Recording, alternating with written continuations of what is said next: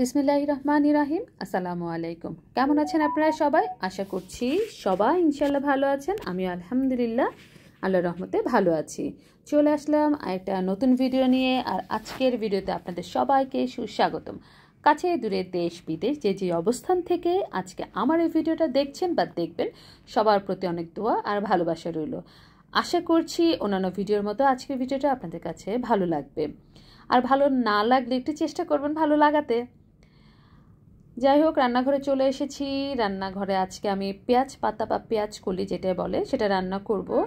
আমার বাসায় অনেক সদস্য সংখ্যা হলেও রান্নাবান্না কিন্তু আমাকে কম অ্যামাউন্টে করতে হয়, কারণ বাচ্চারা এই ধরনের খাবারগুলো খুব কম খায়। কম খায় কি বলতে গেলে খাই না। তো আমরা পাঁচজন সদস্য হওয়ার পরেও কিন্তু দেখা যায় দুজন সদস্য মানে আমি আর আমার হাজব্যান্ড এই খাবারগুলো খেয়ে থাকি। আর যদি ওদের মেখে দেয়, তাহলে হয়তো খায়, এছাড়া কিন্তু খায় না। যার কারণে অল্প অ্যামাউন্টে রান্না করি।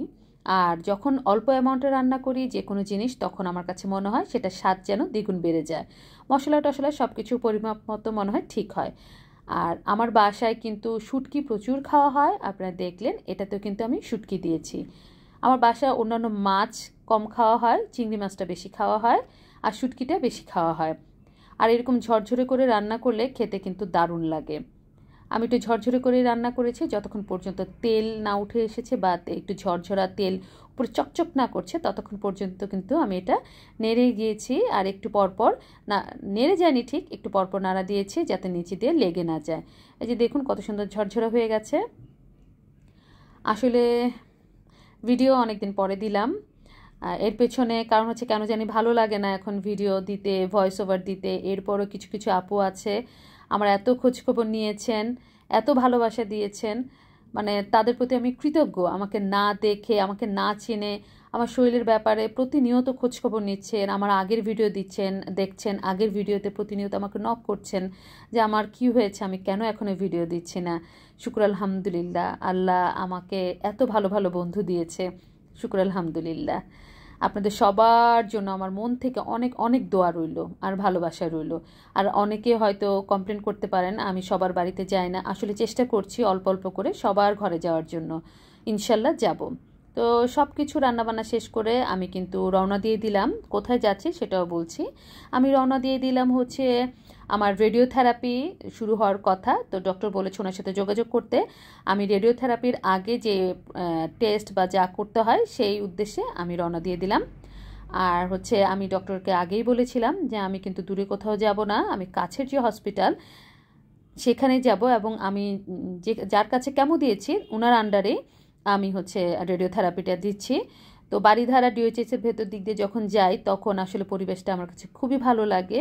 খুব সবুজ থাকে এবং খুব মনে হয় একদম ঝামেলা মুক্ত একটা রাস্তা এটা। এখানে কোনো প্যাপু প্যাপু শব্দ নেই, খুব সুন্দর। এর জন্য এই জায়গাটা ভিডিও করে রাখলাম। আমার ভিডিওটাতে সবুজে সমাহার হয়ে গেল। এখানে আরেকটা জিনিস ভালো লাগে, আর তা হচ্ছে প্রায় সময় যখন যাই, তখন কিন্তু এই জিনিসটা চোখে পড়ে। সেটা হচ্ছে বানর। এই যে দেখুন, এখানে বানরগুলো দৌড়াচ্ছে। ছোট বানর, বড় বানর, বাচ্চা কোলে নিয়ে ওদের অদ্ভুত লাগে। এত লোকালয়ের ভিতরে ওদের এখানে কিন্তু বাসস্থান ঠিকই হয়ে গেছে। তো আপনাদের সাথে কথা বলতে বলতে চলে আসলাম আমি আমার সেই পরিচিত হসপিটালে। হসপিটাল আমার কখনোই পছন্দ ছিল না, কিন্তু এখন প্রতিদিনই আমাকে হসপিটালে আসতে হয়। কিন্তু একটা জিনিস ভালো হচ্ছে, এই হসপিটালের চারপাশটা অনেক সুন্দর, যেটা কিনা অন্য কোনো হসপিটালের ক্ষেত্রে নাই। অনেক বড় হসপিটাল হলেও এতটা সুন্দরভাবে হয়তো থাকে না। তো আমি যখন আসলাম রিসেপশনে কথা বলার পরে ওখান থেকে একজনকে দিয়ে আমাদেরকে পাঠিয়ে দিল যে কোথায় আমার সিটি বা রেডিও থেরাপি দিব সেখানে নিয়ে যাওয়ার জন্য। এবার কেয়ারও যখন নাকি আমি প্যাট সিটি স্ক্যান করালাম, সেটাও কিন্তু বেসমেন্টে ছিল। এখন যখন আমি আমার সিটি সিমুলেশন করতে যাচ্ছি রেডিওথেরাপির ব্যাপারে সব কিছু যখন করতে যাচ্ছি, তখনই কিন্তু বেসমেন্টে দিল। আসলে এটাতে তেজস্ক্রিয়তা বেশি থাকার কারণে মনে হয় এই সবগুলো প্রোডাক্ট বা এই ধরনের ডায়াগনস্টিক যে জিনিসগুলো আছে, সেগুলো বেসমেন্টে রাখে। এই যে আমি আমার গন্তব্যে পৌঁছে গেছি, গন্তব্যে পৌঁছে যাওয়ার পরে তাদের এখানে ক্যাশ কাউন্টারে এসে আমি আমার টাকাটা জমা দিয়ে দিলাম। টাকা জমা দিয়ে দিয়ে ওয়েট করছি। যে আমাকে কখন ডাকবে, যেহেতু আমি নতুন, অনেক কিছু বুঝতে পারছিলাম না, আমাকে বলেছে ওয়েট করতে, আমি ওয়েট করছিলাম।